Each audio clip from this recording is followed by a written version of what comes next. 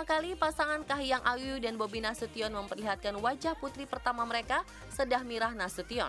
Sejak melahirkan pada tanggal 1 Agustus tahun lalu, belum sekalipun mereka menampakkan wajah Sedah saat membagikan fotonya di media sosial. Kahiyang selalu memposting foto Sedah tampak dari belakang. Kalaupun dari depan, putri Presiden RI ini menempel stiker di wajah Sedah. Hari Selasa dua hari yang lalu, Sedah tampak tersenyum menerima kecupan Bobi. Kahiyang berseloroh bahwa bayi lima bulan yang dicium suaminya itu adalah Bobi Nasution versi cewek.